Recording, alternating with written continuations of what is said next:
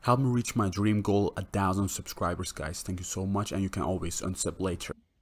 Hello, so guys, today I'm going to show you how you can skip queues.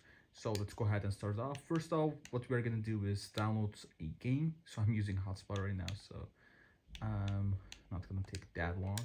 So I'm going to go for to my games and apps, and then I'm going to go and download a game like Apex. Let's do Apex, and let's do Arcade, Pac-Man. And now let's go back. Now you should see that uh, these games are installing or maybe you're updating something and you want the update to be first and then like something else. So now what we're gonna do is we're, we're gonna click on installing games.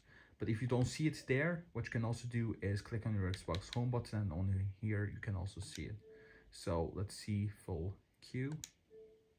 Now on here, what you can basically do is, let's just say that this game over here is installing, right? What you can do is, if you don't want to install that one first, you can skip it and do the next one. So what you do is press on options, and then you want to go ahead and click on install now. So let's, yeah, the installation stopped, but what you have to do basically is uh, click and then you have to install now and that's how you can skip a queue and i'm using hotspot right now so yeah I'm gonna cancel these really quickly. Oh no, it's gonna take all of my... Actually, I'm gonna cancel them all. Clear the queue. Yep, and here we go. Yeah, uh, I have a internet issue right now, so that's why.